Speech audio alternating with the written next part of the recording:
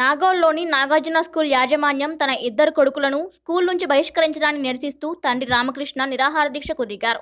హస్తినాపురం చౌరస్తాలో ఆయన చేస్తున్న ఆందోళనకు పలు ప్రజా సంఘాలు మద్దతు పలికాయి. నాగార్జున స్కూల్ నుంచి ఇద్దరు విద్యార్థులను అన్యాయంగా గెంటివేయడంపై వీరంతా మండిపడ్డారు. వెంటనే ఈ విద్యార్థులకు న్యాయం చేయాలని ప్రజా సంఘాల నాయకులు కోట్ల వాసు జక్కా యాదగిరి డిమాండ్ చేశారు. ఉదయ్ ఆరో తరగతి నాలుగో తరగతి కంప్లీట్ అయ్యింది ఇప్పుడు ఏడో తరగతి ఐదో తరగతి వెళ్ళబోతున్నారు.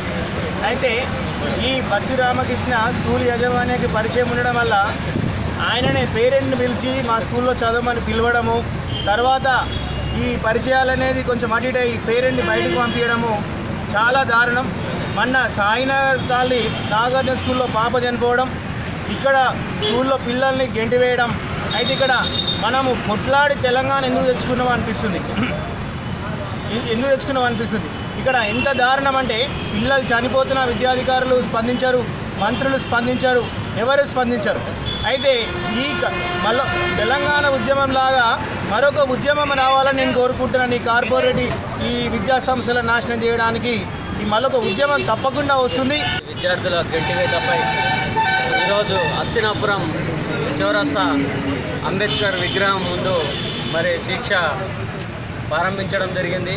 ఈ దీక్షకు తెలంగాణ ప్రజల పార్టీ తరఫున నేను పూర్తి మద్దతు ప్రకటిస్తూ మరి దీక్ష కూర్చున్న వ్యక్తి ఒక టీఆర్ఎస్ కార్యకర్త టీఆర్ఎస్ ఉద్యమంలో పాల్గొన్న వ్యక్తి మరి ఈరోజు టీఆర్ఎస్ కార్యకర్త అయ్యుండి టీఆర్ఎస్ ఉద్యమంలో పాల్గొన్న వ్యక్తి అయ్యుండి మరి యుద్ధం మరి ఫీ ఫీజుల విషయం ఈ నాగార్జున స్కూల్ గంటివేత విషయమై ఈరోజు న్యాయ న్యాయం కోసం న్యాయ పోరాటం కోసం దీక్ష కూర్చోవడం జరిగింది.